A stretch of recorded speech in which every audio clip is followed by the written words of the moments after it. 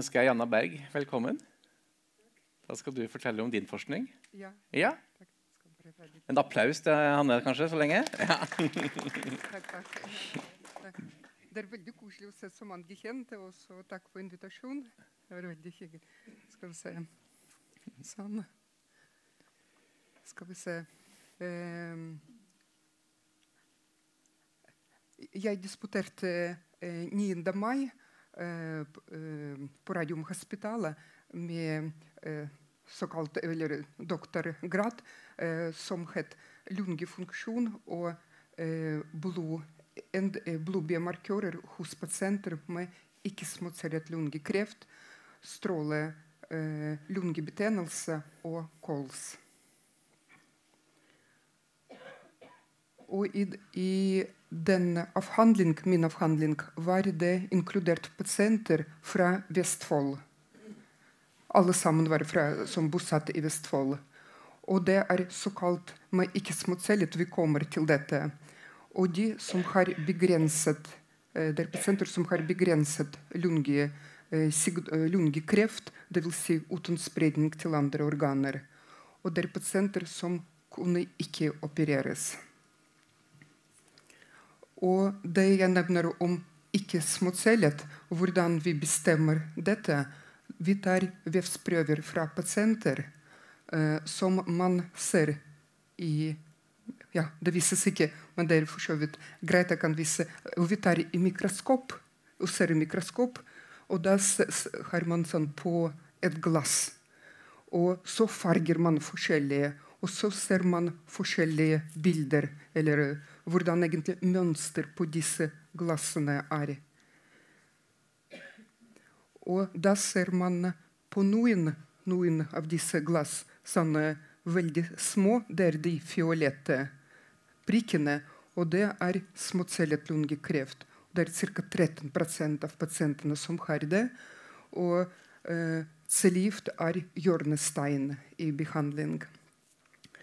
Men også til og med de som kan opereres, allikevel de får cellegift etterpå, fordi det er veldig viktig. Også de som har spredning til andre organer, de eh, siste årene eh, ble det innført at de får også immunterapi. Så andre typer lungekreft, såkalt småcellet, det er det som jeg forsket på. Det, det, det er 80 av pasienter som har denne type kreft. Og det er mange, mange behandlingsalternativer. Vi opererer, vi stråler, vi gir dette med stereotaksi, som Hanna Marte snakket om, og immunterapi og cellegift og eh, målrettet terapi. Og da cellene ser litt sånn som her vi ser i ringen, litt større ut, så derfor man kaller ikke småcellet. Og det er de fleste som har det. Der den type pasienten ble inkludert. Så litt om stadium, stadium som vi sier, eller utbredelse av lungekreft. Og eh, Jeg bare lurer Aha. på én ting, Anna, Ja, fordi at ja. De som nå ser på oss på, på nett, de ser ikke at du står og peker der. ja, ja, Så jeg bare lurer på, hvis du bruker denne her. Laserpekeren der, ja. sånn, da vil alle sammen Alle se. ser det. Flott, flott. Ja. At eh, stadium 1, som man kaller det, og det er i lokal eh, stadium. Og det er kun mindre, mindre lungesvulst som inkluderes i det. Og, og så noen har lungesvulst, og så spredning til lymfer i, i, på samme siden av lungen. Og det vi kaller lokalstadium. Og det, og det utgjør ca. tredeler av lungekreftpasienter. Og så stadium 3 det utgjør ca. 20 Så er det litt større svulst, og så det er lymfer på andre siden av lungen. Og så tredje, eller stadium 4, og det utgjør underkant halvparten, det er spredning til andre organer, lever eller hjerne eller skjelettet. Og så i min studie ble, eller vår studie ble det inkludert pasienter kun med lokal, lokal sykdom. i lungen eller eh, lymfeknuter på samme siden av lungen.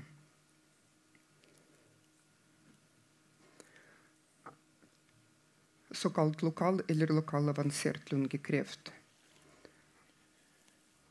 Og hos pasienter som har, som har eh, lungesvulst på ene lungen og ikke noe spredning til lymfer eller noe, så eh, gir man enten kirurgi, det er det som første valgbehandling. Det er å operere bort.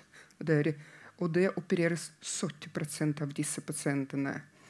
Eh, andre valg er såkalt stereotaksi. Å være stereotaksi det er strålebehandling som er veldig sterk, og som gitt bare i tre eller fem eller noen ganger åtte doser. Det er målrettet sterk behandling av noen få, noen få ganger.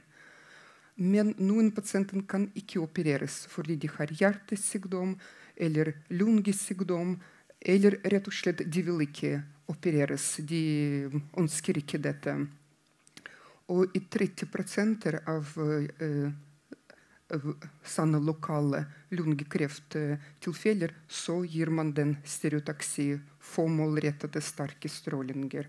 Men da må svulsten være under 6 cm. Den må bli ikke så stor for at man klarer å fange det inn. De pasientene som har spredning til lymfer mellom lungene, så de kan ikke få stereotaksi og kan ikke opereres. Uh, jo, de kan opereres, men vi ser at det blir bare i 13 hvis det er bare veldig få uh, utbredelse til uh, lymfer mellom lungene. I 35 gir man dette, eller denne kombinasjonsbehandlingen som Hanna Marta kalte fraksjonert med cellegift. Dvs. Si at man gir mange små doser over sju uker hver dag. Man egentlig blir, går som på jobben fra mandag til fredag. Fri i helgene så gir man sju uker en stråling og så cellegift i starten og på slutten. Og vi ser at i Vestfold vi faktisk gir 53 sann behandling med tanke på å helbrede pasienten Enn resten av landet. Resten av landet gir 35% men Vestfold gir i 53 Så det vil si at vi prøver å finne liksom, gi den beste behandlingen for pasienten, at vi kan kurere den eller helbrede den. Og da ser vi stråling pluss totcellegift. Og hvis det blir oppfylt visse vilkår, så gir man også immunterapi. Og pasientene som ble inkludert i denne studien, det er de som fikk den strålebehandling stereotaksi her og uh, mange strålinger pluss cellegift. Strålebehandling er egentlig veldig god behandling både på effekten og så der, der det bare få minutter om dagen. Hvis uh, man ligger i maskinen bare noen få minutter, så kan egentlig reise hjem. Man får rødme i sørhet i huden. Man skal ikke utsette det i alle fall for sol i, i minst et år. Og så noen får sånn influensalignende symptomer etter stråling.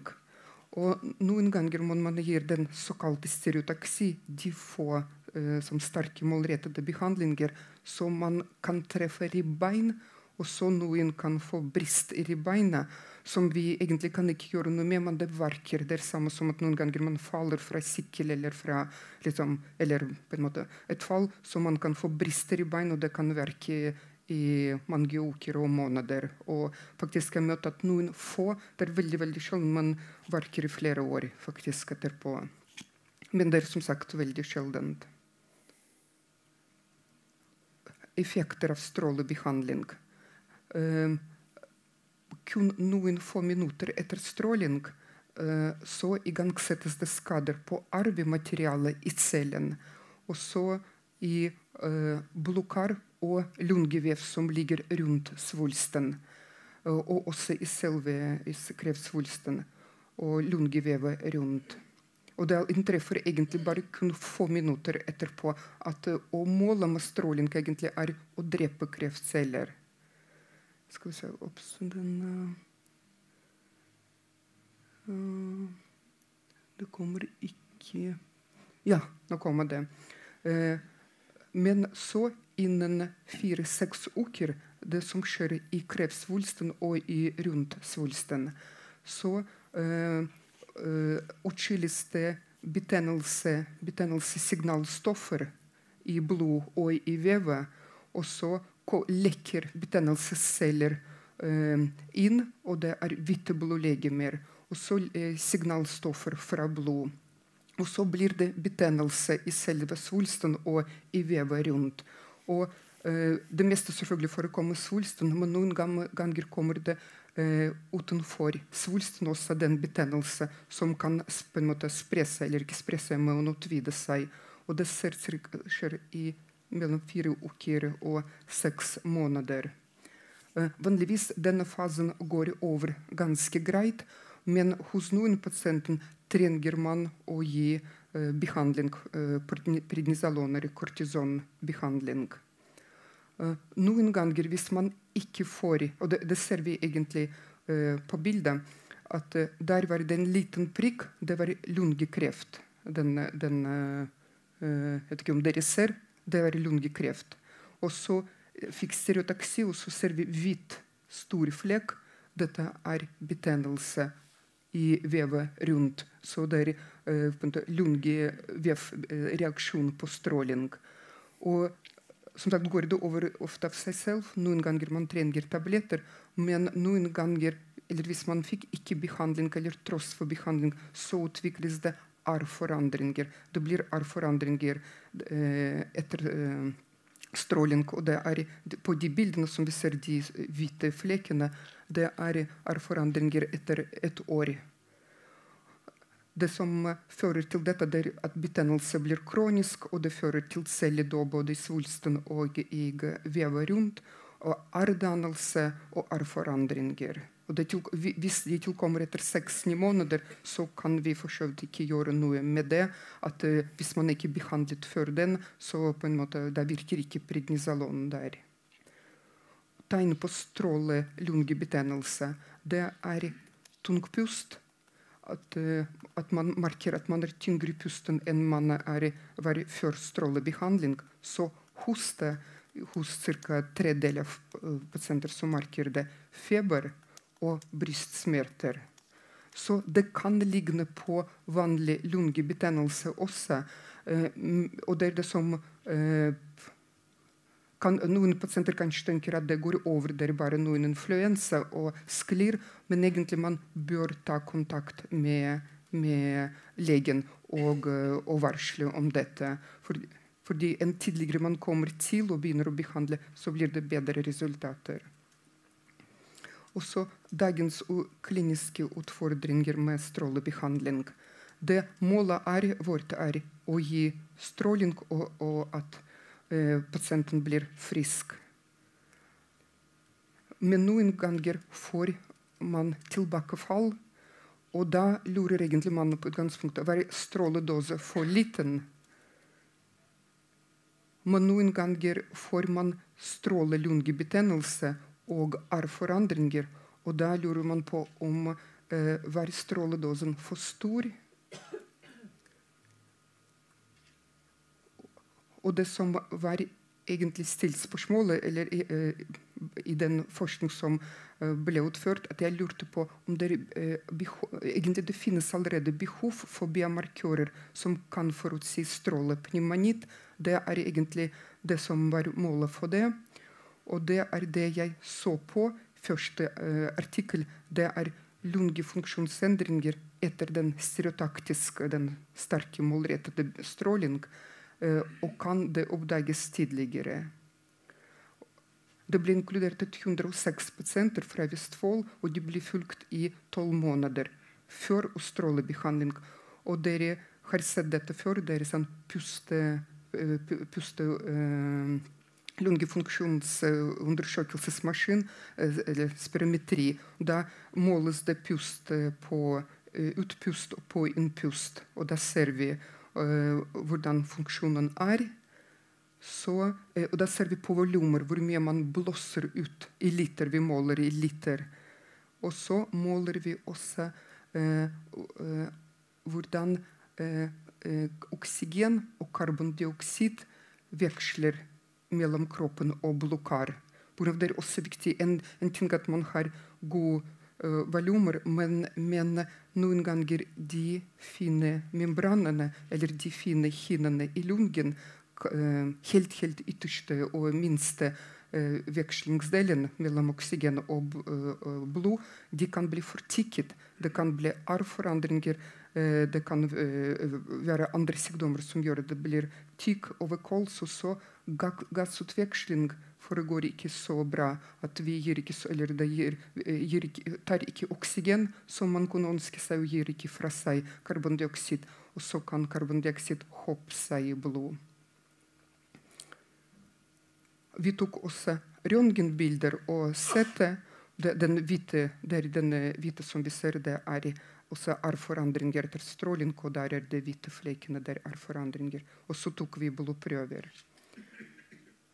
Og det vi fant, at uh, tidlig fall i lungefunksjon uh, fire-seks uker uh, etter, etter strålebehandling den kommer før røntgenfall og før symptomer. Og det faktisk varsler om strålebetennelse. Vi pleier å ta pasienten etter strålebehandling fire-seks uker etter uh, stråling. Og så måler vi de lungefunksjonen. Og hvis vi ser at det er en del fall, så faktisk det kan uh, forutsi at strålepneumonitt kan komme på senere tidspunkt. Men det er før pasienten begynner å hoste eller økt tungpust, og før pasienten uh, vi ser noe på røntgen. Så de pusteprøvene er en viktig del. Og så funn to at uh, pasienter som hadde mindre lungevolum, var mer utsatt for strålelungebetennelse. Og hvem er disse pasientene? Det er uh, små, nette kvinner eller pasienter som var strålebehandlet før. Dvs. Si at de allerede kan ha stråleskader, selv om uh, man merker ikke så mye på kroppen eller på pusten, men likevel det ligger allerede eh, stråleforandringer, mindre lungefunksjon eller mindre volum. Eh, og så eh, kan lungebetennelse komme raskere. Og, det, og, hos de som var operert, ja, operert eller strålebehandlet før. Hvis man opererte en, et stykke, så også man har mindre lungevolum. Strålebetennelse kommer raskere. Og hva fører disse funn til at dette bør tas i betraktning når man diskuterer på de multidisiplinære møtene og med pasienten hvilken behandling vi skal gi. Og funn tre eh, Vi eh, fant også at lungefunksjonen faller noe mer enn kanskje forventet i den alder og hos mann eller kvinne, eh, fordi de fikk strålebehandling. Men, eh, og hvis man får strålebetennelse, så faller de enda mer, og man ser det utover tiden. Eh, eller man kommer å leve egentlig med noe redusert lungefunksjon. Eh, hva egentlig fører disse funn til? Vi skal informere pasienten med det. De kan få lungefunksjonsnedsettelse. Noen merker ikke det, noen merker lite, og noen merker en del det, det ble funnet også i den studien at 38, nesten sånn, ja, 40% som fikk for, sånne forandringer på lunger, stråleforandringer, lungebetennelse, på, på, bilder. Men de merket ikke særlig til det. Men det er 18 som merket det på, på kroppen, eller merket at de fikk besvær.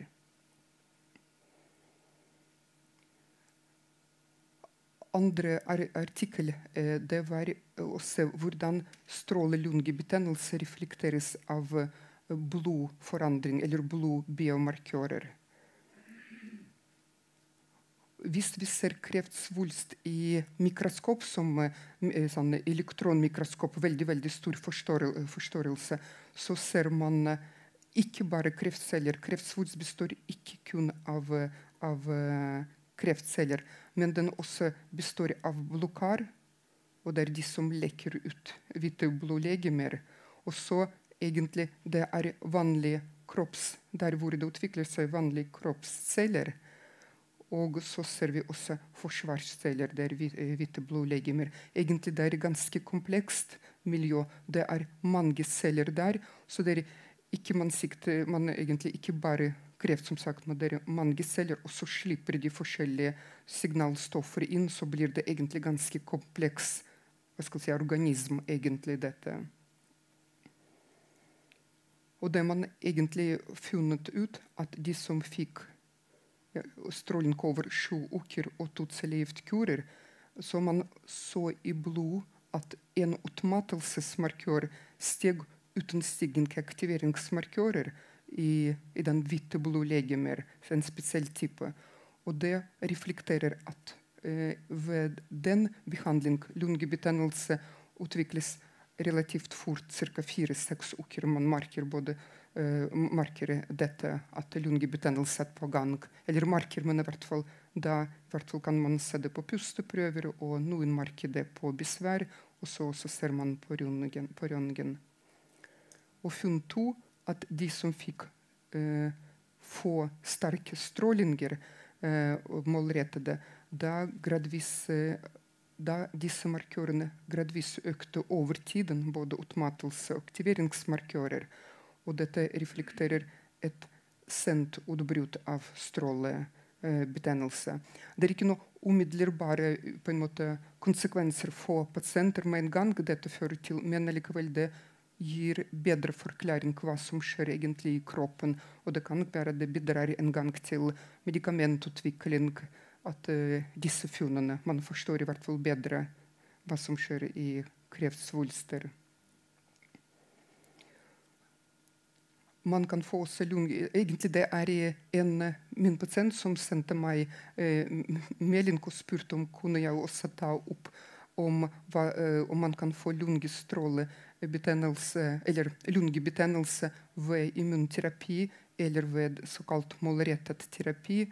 Og det er riktig. Man kan få, få økt, økt risiko for å få eh, lungebetennelse ved immunterapi. Og derfor man tar regelmessige bilder. I første omgang starten man tar det hver tredje måned egentlig, og følger nøye med. Og, hvis man får forandringer, så gis det den kortisonkuren. Og målrettet terapi der de EGFR og ALK og de andre sjeldne eh, genforandringer, så kan de kan også gi eh, lungebetennelse. Derfor man også følger det ganske nøye. Eh, og hvis man gir samtidig stråling, da blir det økt, økt risiko. Men det som man gjør, at man vanligvis tar pause fra disse eh, tablettene og uh, pause, så stråler, og så begynner etterpå, så reduserer det betraktelig uh, risiko for dette. Og så egentlig det, Jeg ikke tok som slide, men de som har kols, de med, det er forskjellige typer kols, emfysem og sånne andre typer kols. Så faktisk man det ble, fant, og det var funnet også andre studier, at man får mindre strålebetennelse hvis man har emfysem og kols. Så man må ikke være redd selv for man har dårlig lungefunksjon og kols. Så faktisk behandling kan vanligvis gå ganske bra. På grunn av der er det cellene litt spredt fra hverandre, og vevet spredt fra hverandre, så smitter de seg ikke så veldig og hisser seg ikke så. Så på en måte dette er sånn man selvfølgelig ser på men det er egentlig ganske trygg behandling. Ja, det var i siste slide. Ja. Ja. Takk skal du ha. Ja. Da tenker jeg Kari du også kan komme opp her, så skal vi ha en liten, liten kommentarrunde. Men vi åpner også for spørsmål. Um, og Hanne, du er kanskje også med oss? Uh, Er du der? Hører du meg? Ja, det er vi, vet du. Flott. Hei, ja, hei. Um, vi har fått inn ett spørsmål her på, på, nett eh, så langt. og Det er en som sier at hun sliter med ribbeinsbrudd etter stereotaksi. Om du har noen tips til smertelindring? Man kan forsøke prednisolonkur også. Det kan hjelpe en sjelden gang, men gjerne raskere. Eller man må ta det litt en måte, kortere tid etter stråling. fordi når det gikk et år eller to, så det er vanskeligere å behandle det. Men man kan i hvert fall forsøke det. Å gi kortisonkur. Mm. Og ellers det blir smertestillende. Ja. Men det kan være jeg veldig veldig sjelden møter det, men noen har det til og med flere år etterpå. Hvis man treffer det i beina. Mm. Og det er vanskelig å forutsi på forhånd, så det blir litt, som, litt uh, uventet for å få behandlere, eller hva skal jeg kalle det. At uh, man ikke vet hvem som dette inntreffer hos på forhånd.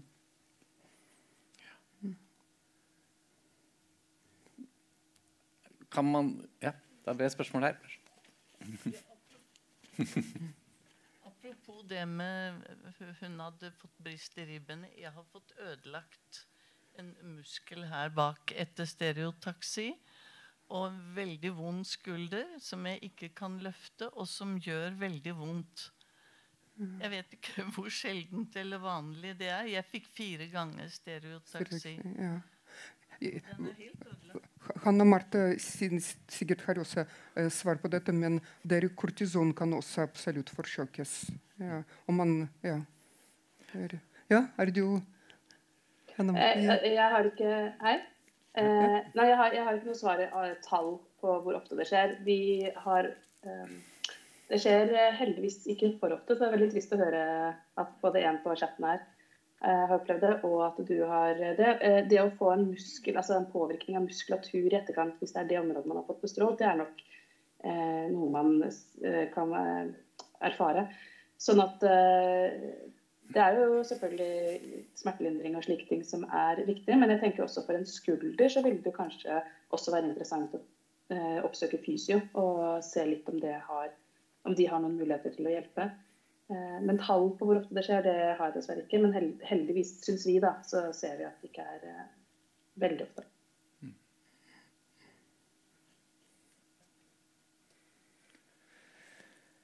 Ja, da, da, er eh, spørretimen åpen. Så det gjelder jo både dere her i salen og, og dere som følger oss på nett. Dere må på, på nett må skrive inn spørsmålene her, så, så skal jeg formidle de. Eh, og da har vi et spørsmål der som sier at dette er en super forklaring. Ja. Eh, men, men hvor lenge etter kan bivirkningene komme? De, eh, etter stereotaksi ja. Men det kommer det vanligvis det meste, eller Pasientene selv merker det rundt seks måneder. Det er nesten aldri møtt, eller veldig veldig sjelden at de merker det rundt tre måneder. og Derfor det fallet i lungefunksjon kan forutsi det. Men de fleste merker det mellom seks måneder og et år. I hvert fall, i hvert fall med tung pust og, og, hoste. Det kommer mellom seks og tolv måneder. Men ribbein og sånne muskler det kommer hvis ikke med en gang. så det, Jeg vet ikke hva sek, ja, det kom etter seks måneder også. Ok. Ja, ja. Ja, det mm. Da fikk vi svar. Eh, jeg kan jo fylle litt inn på det vi eh, pleier å fortelle på um, Ullevål. Eller i hvert fall jeg pleier å si i timen. Det er eh, Da har kanskje noen av dere hørt det her før, siden dere kanskje har hatt meg. Eh, og det er at eh, selv om vi slutter å stråle den dagen vi slutter å stråle, eh, så jobber fortsatt celle, altså behandlingen inni kroppen og gjør eh, sin effekt videre de neste dagene og ukene etter at man er ferdig behandling. Så man forventer ikke at selve effekten eh, av stråbehandlingen er i havn før det kanskje har gått en fire, seks, eh, uker etter selve behandlingen. Og det var jo selve måte, kreftdrapet og alt det der. Så kommer jo all den tid kroppen skal bygge seg opp igjen. Eh, slik at eh, når man, hvis det er eh, Vi kan ta alle, alle bivirkninger på en måte sånn under ett. Så er det jo slik at noen bivirkninger kan man få underveis i behandlingen. Og da er det jo særlig slik at det hoper seg opp etter hvert som man går i lengre tid med behandling. Eller selvfølgelig hvis man har en sterkere behandling. Um, og da er det også sånn at Selv om man er ferdig den dagen man er, så kan til og med bivirkningene tilkomme altså i etterkant av behandlingen. Eh, både dager og uker, og på en del av tingene også måneder. Det med måneder eh, Hvis vi skal først ta det med pneumonitten, altså strålelungebetennelsen, så er det en av de tingene vi eh, snakker om, at det kan komme flere måneder i etterkant. Og ergo viktig at man følger med på det. at Hvis man blir tungpust, hvis man får økt tørrhoste, syns at noe er ugreit, så skal man oppsøke legen. Man skal ikke vente i nummer én, ikke vente eh, veldig lenge med å oppsøke noen. Men nummer to er også det at det er viktig å ta med i betraktningen, og kanskje minne eventuelt fastlegen på, hvis det er der man er, at man også har fått, strå, fått strålebehandling. Fordi da kan det hende at denne lungebetennelsen ikke skal eh, bare tenkes på som en mulig virusinfeksjon eller bakterieinfeksjon, men at man skal ha i mente at det også kan være et resultat av strålebehandling. Så det var den. Når det kommer til dette med muskler og skjelett og sånne type ting, eh, så tenker jeg jo at eh, det å gi stråler er jo altså å drepe celler, og da primært kreftceller. Vi treffer jo altså de andre strukturene i kroppen, selv om vi prøver så godt vi kan å unngå det. Og vi har Eh, regler da, kan du si, for hvor mye stråling vi kan tolerere å gi til de forskjellige organene. At lungen tåler så mye, Den friske lungen tåler så mye dose. Skjelettet tåler så mye dose. Spiserøret tåler så mye dose. Hjertet tåler så mye dose. Og så er det jo slik at vi mennesker, Selv om man setter opp disse dosene, så er vi mennesker forskjellige. Selv, sånn at det, Hos noen så vil det, selv om vi har holdt oss innenfor dosen, og der er vi strenge, Eh, så vil det kunne allikevel være at hos denne personen så var denne dosen for sterk til f.eks. skjelett. Eh, og da kan jo det komme i etterkant nettopp fordi det er en svekkelse der. Eh, sånn at det er en svekkelse av kanskje den skjelettdelen, den, den muskelen eller noe slikt. Og da kan det jo både være at den svekkelsen i seg selv gjør at man kan få en skadevær, men, eller at man er mer utsatt ved et fall eller Eh, hva skal man si, kraftig host eller liksom, en forsvekkelse. At man har allerede en svakhet i det området som da lettere eh, blir trigget av noe annet da, som kommer på toppen. Ja. Kari? Ja, jeg tenkte Jeg, eh, jeg fikk benskjørhetsbehandling fordi de oppdaget at jeg var benskjørhet pga. Et, et brudd i ryggen. Eh, og da hadde jeg i forkant av det så hadde jeg også masse problemer med brudd i, i ribbens, ribbenene mine. For, fordi at jeg har strålt i, i, i lungefunksjonen. Og, og, jeg har erfart da at den benskjørhetsbehandlingen med Someta og, og um, kalsium og D-vitamin, at det også har hjulpet meg. da. Mm. Ja, ja, Da mener du at det kan også man prøve ved Ja, jeg, jeg, jeg gikk fra å ha ja, brudd nesten hver 14. dag på sommeren til å ikke ha en gang, ikke ha på over et år. Det er flott. Det er flott. Mm. Men det faktisk diskuteres nå det skal vi bruke på en måte sånn type den retning eller sånn behandling mer mm. ved lungekreft. Det eh, diskuteres nå i handlingsprogrammet. Mm når vi skriver om handlingsprogrammet. Ja. Ja, ja. Mm. ja, det er bra at du sier at det er litt sånn følte mm. Det er en som skriver her at Kortison hjelper kanskje ikke to år etter stereotaksi. Eh, hun har fått kryptobehandling for smertene, men denne varer bare i inntil seks måneder. Så lurer hun på om, eh, om nervene kuttes permanent. Hun har tre ribben som ikke gror. Uh, og at ribbensbruddet kom halvannet år etter stråling. Og, men hun er ikke benskjør, som en presisering i forhold til uh, Kari her. Det er ikke kanskje blodkar eller nerver som kuttes, eller selvfølgelig, han og Marte kan si, men det er bena som skades. Det blir som en permanent brist, brist i den, som ikke gror. Det er det som skjer egentlig. Mm. Anne Marte? Det vil, både, ja, det vil jo både være skade i det vevet hvor vi har strålt, altså også skjelettet. Og så vil jo eh, da også muligheten for reparasjon i det området. En frisk kropp som aldri har fått noe stråling eller noe sånt, vil nok ha en mye større eh, evne til å kunne reparere det området. For man eh, Ja, det er jo nettopp det. Det er jo derfor eh, det er derfor ikke vi bare kan stråle uhemmet. Det er derfor vi ikke alltid anbefaler stråling, selv om eh, eh, noen kunne ønske seg det av forskjellige årsaker. Det er nettopp pga. disse skadene. Sånn at Nei, ja, altså nervene selvfølgelig kan jo bli ødelagt, men det er nok ikke derfor du får brudd. Uh, det er jo mer med tanke på hva slags smerte eventuelt man opplever, ikke opplever og slikt. Det, med at brudd og sånn forekommer, er nok mer at det er skade på selve skjelettet og de vev, altså det vevet som utgjør skjelettet. De cellene. Og selvfølgelig så er man mer utsatt hvis man skulle få traumer, altså slag, fall, diverse, i de områdene. Så er man jo mer utsatt.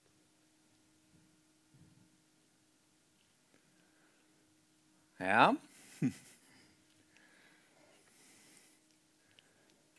Flere spørsmål? Tindrende klart? Veldig klart. Bare, du snakker jo om strålelungebetennelse, Janna. Kan man si at det er en forskjell på det og vanlig lungebetennelse? Altså, hvordan vil du definere forskjellene? Ja, Med vanlig lungebetennelse blir lungebetennelse utløst av virus eller bakterier. og Da gir man antibiotika eh, først og fremst eh, for å behandle det. Men her er det ikke bakterier eller virus. Der er det stråling som irriterer lungevevet rundt. Og, og det, hos noen som sagt, den betennelses, eller vanligvis den betennelses går over, men noen ganger det blir så hissig at den vil ikke roe seg over prednisolon-kortisonbehandling. Uh, så det er, da må man gi denne type egentlig, behandling som kortison for å roe det. Mm. Kan jo si når jeg jeg hadde strå, min strålepneumonitt. Så, eh, for det var sånn fire måneder etterpå. Så gikk jeg en tur i fjellet, og så plutselig så følte jeg bare at eh, kroppen ikke hang på skjelettet mitt lenger.